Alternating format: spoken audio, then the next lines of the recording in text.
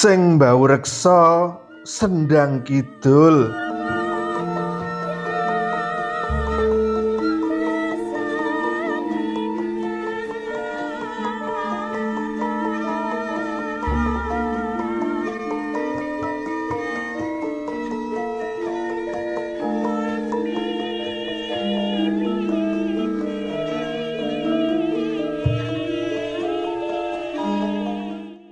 Mbah Gondo saiki umure wis 90 taun. Nanging kahanane isih jos. Awake kuru ora, lemu ya ora.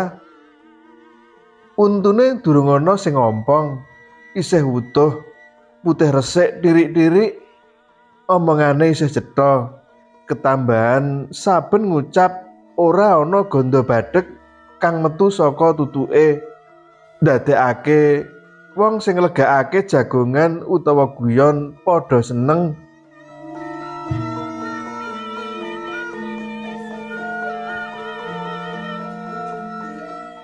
Iki uga minangka pembelajaran. Yen resike Mbah Gondo kuwi perlu ditulodo sok sapa wae. Nyatane sing sapa wis sambung rapet karo Mbah Gondo kena dipastekake padha niru yen ngomong ora ngetokake ambu badhek saka tutuke. Kabar kang sumebar jare Mbah Gondo kuwi dadi kanca rakete sing mbau sendang kidul. Diarani sendang kidul merga sendang kuwi manggone ana kidul desa. Sendang mau dadi sumber panguripane wong sak desa. Banyune dipek kanggo adus umbah-umbah, masak uga kanggo ngombene uang lan Rajakaya. Olahe dadi kanca rakete sing mbreksa sendang kidul merga Mbah Gondo kuwi kumala-kala nganti saiki wis dadi duda.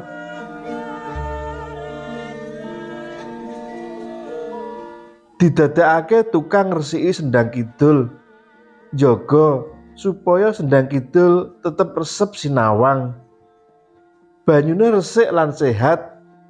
Rak ya lumrah to yen Mbah Gondo kuwi dadi mitra rakete sing reksa sendang kidul.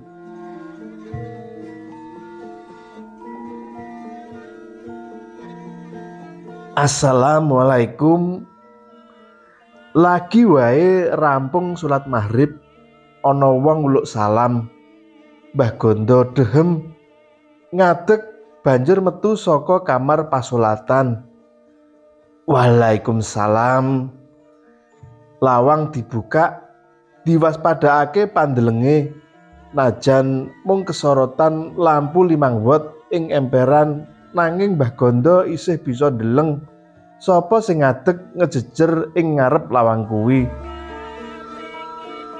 Astagfirullahalazim. Monggo Pak Narto pinarek lebet. Ora dadak dikaping pindoni Pak Narto banjur mlebu ing ruang tamu. Lelorone salaman banjur lungguh. Kursine Mbah Gondo kursi biasa nanging mejane biyuh. Papane welon, ambane sak meter selawe, dawane rong meter kandele telung puluh senti. Jarine Mbah Gondo meja kuwi oleh tuku nalika usume jaran kayu jati mbiyen. Mbah Gondo njupukake aqua gelas karo sunduke diseleh ing ngarepe Pak Narto. Dayowe mono pensiunan kami tuwa setahun kepungkur. Dipununjuk Pak Narto.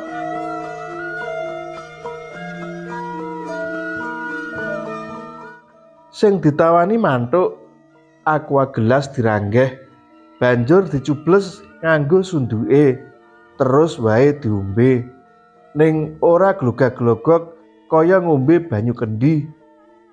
Terima nyerot sithik-sithik saka sedotan sing dicubles ing aqua gelas mau ngilmune Pak Narto jare wong mertamu apa maneh tamu golek-golek kaya dheweke kok disuguhi sing apik ndang ditindakne apa dawe sing duwe dalem? Kuwi ngalamate apik. Sajaipun kok wigatos wonten kersa ingkang kados pundi Pak Narto kula badhe nyuwun tulung dateng Mbah Gondo. Ngresiki dadah pitakone Mbah Gondo.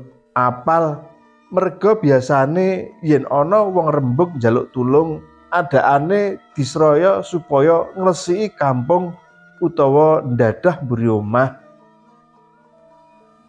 Boten Mbah kula nyuwun tulung supados panjenengan kersa ngancani kula dalu niki wonten Sendang Kidul Krungu wangsulane Pak Narto, Mbah Gondo nyawang kedep desmak rada suwe sing disawang nganti ora penak atine. Ngeten lho, Mbah. Kajeng kula jenengan kula jak wungon ten Sendang Kidul. Kula kepengin pados rejeki niki rak malam jemuah wage menawi cara hitungan pados rejeki dawah mentek Mbah Gondo mesem ning ora sengak. Miturut Mbah Gondo, nggak apik mesem sengak ditujukake marang Pak Narto. Tur gak wani Mbah Gondo ngesemi sengak. Pak Narto kuwi dongkolan kami tuwa. Sedang Mbah Gondo mung tukang resik sendang.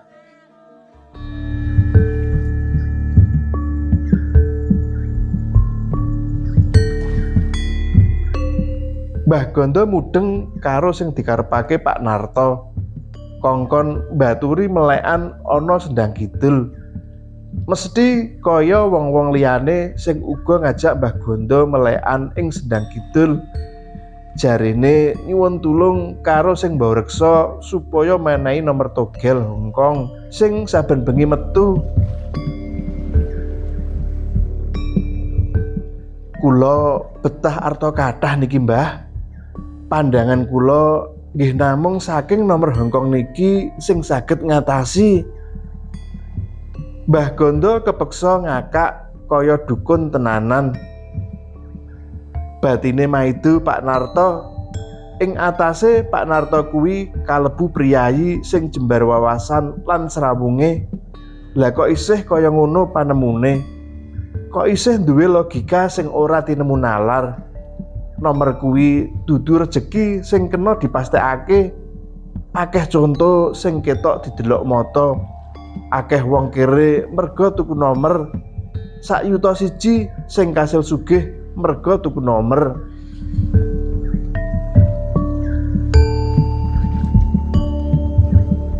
lembune jenengan kadose kathah Pak Narto. Limo sen kalih Brahman tiga. Kula kinten menawi satu yuta rak pajeng. Kandane Mbah Gondo. Pak Narto dipanteng kenceng nganti dingkluk kalah perbowo sajake betah kula niku miliar Mbah. Nek namung satu rak tasih kirang Pak Narto banjur cerita wingi awan Pak Kemeter ngerandu mara menyang omahe. Perlune tawa sawah lor desa sing ambane sak hektar. Ditawakake rong miliar. Dening Pak Narto arep digolekake duit sapa weruh sawah sing subure ora jamak kuwi pancen pinesti dadi duweke bisa kanggo marisi anak putine ing tembe. Krungu yen duwe karep golek duit miliaran saka asil tombok nomor togel Hongkong Mbah Gondo ngakak kaping pindho. Nanging ngakake sing kaping pindho iki dibarengi awake adem panas.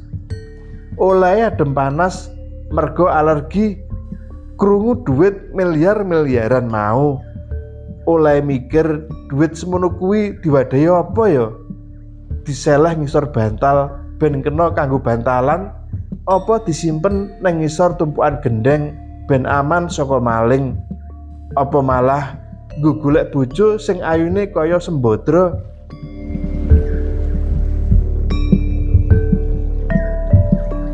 Jane ibune nggih sampun gadah simpenan mas-masan sekilo, Mbah. Menawi kula sade pikantuk arto maju mundur setengah miliar ketambahan lembune wau rak nembe 600 yuta tasih kirang kathah, Mbah. Boten kagungan simpenan arto ten bank. Panyaute Mbah Gondo wonten namung seket rak nembe 650 Mbah. Mobile walah kari kawak nggih mboten pajeng Mbah. Wong mobil kangge duwen-duwenan mawon kok Mbah. Mosok dongkolan kami tua nganggo sepeda ontel kancane ae mobilnya anyar-anyar. Berarti umpami saben ingkang regi kali miliar niku jenengan pundut artane jenengan kirang Mbah Gondo nyambung karo mikir-mikir kurangi duit. Kanggone Mbah Gondo krungu duit miliar-miliaran sing sering diucapake wong akeh. Kok yo lagi zaman iki? Zaman cilikane dhisik bayarane tukang perahu satu swida ewu wae wis oleh emas murni sekilo. Saiki kok miliaran? Opo ora angel ngitunge tasih kirang setunggal miliar 350 yuta mbah terus kekirangan niku ajeng jenengan tembakne togel Hongkong benjang dalu sakniki jenengan ajeng tirakat ungon ngajak kula kancani ten sendang kidul kersane dibisiki sing mbok reksa Ngoten to, Pak Narto? Leres, Mbah. Mila kula suwun keikhlasan panjenengan dalu menika ngancani kula ten Sendang Kidul. Kabare ngakatah jenengan niku mitra sing reksa Sendang Kidul. Harapan kula jenengan kan saged jelaske kekajengan kula kapureh maringi nomor sing cespleng. Pak Narto ngrogoh sak klambi dudut amplop banjur diseleh ing ngarepe Mbah Gondo. Menika kagem mundut kopi, Mbah. Amplop sing diseleh ing ngarepe cepet dicandak terus dibalekake marang Pak Narto.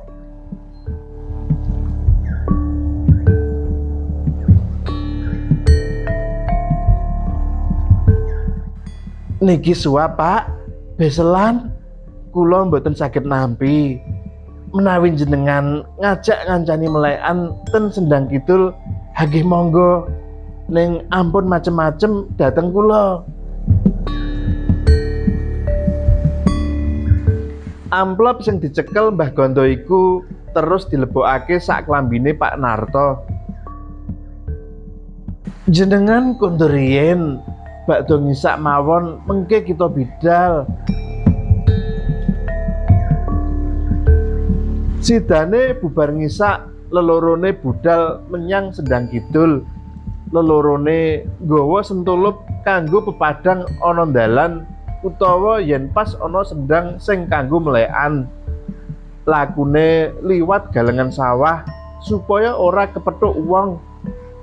Pak Narto sing jaluk golek dalan sidatan mergo isin yen diweruhi wong anggone kroyo-royo menyang Sendang Kidul iku mergo golek nomor watu gede loro kumloso ing ngisor wit kepuh sing gerbayah ngeyupi sendang diresiki wong loro. Sakwise resik wong loro banjur lungguh madhep banyu sendang sing kimplah-kimplah. Ora lali nyumet obat nyamuk supaya ora dienggo bancaan jingklong. Meditasi diwiwiti. Wong loro meneng meripat manter nyawang pucuk irung. Konsentrasine ditumplek nyenyuwun nugrahaning pangeran liwat sing reksa sendang kidul supaya pinaringan rejeki liwat togel Hongkong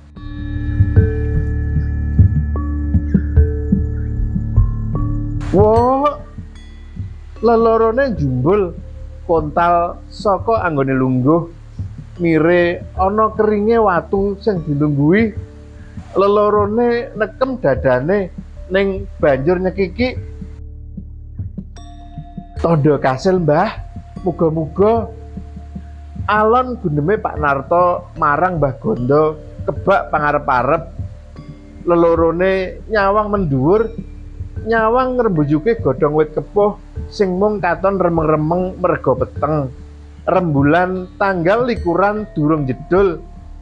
Mripat tuwa sing goleki menceloki beluk ora nemokake. Lelorone bali lungguh miwiti meditasi maneh. Pak Narto ngrogo sae dudut HP banjur dipenyet nganggo drijine. HP ngebiar Pak Narto mesem lagi jam 10 HP banjur disai maneh Bali numplek konsentrasi nyenyuwun rejeki saka togel Hongkong jatah wetonan sesuk bengi.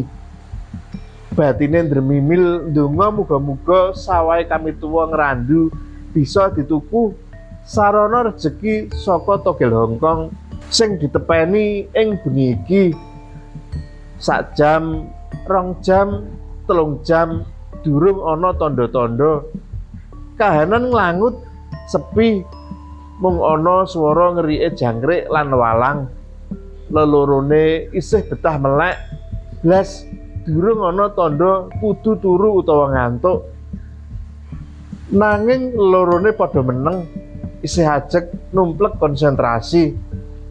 Najan hawa wengi saya adem nanging lelorone malah ngerasa sumuk. Keprungu swara ngeses-ngeses saka arahe banyu sendang lelorone ngambakake meripat lan kupinge swara ngeses-ngeses kuwi saya krungu banter saya banter saya seru banyu sendang melu obah wiwitane alon-alon suwe-suwe saya banter saya mubeng kaya banyu umup.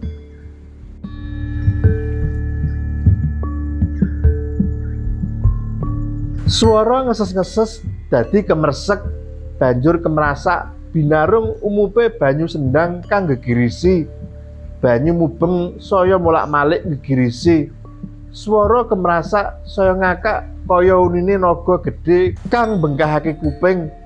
Nanging wong loro kuwi ora gigrek, isih ajek lungguh ngedepes masrahake pati uripe marang kang akarya jagat.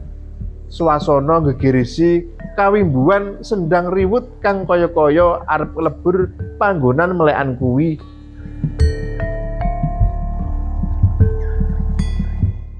Lap ujug-ujug kabeh kang gegerisi kuwi ilang.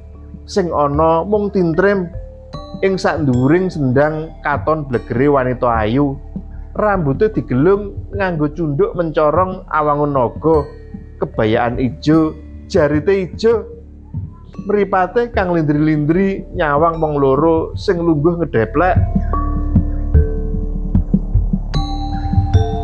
Kang Gondo jaan mulih kancamu kuwi. Aku nggak seneng wong padha edan togel. Ngerti ya Kang Gondo? Kuwi mono marai wong keset mergawe.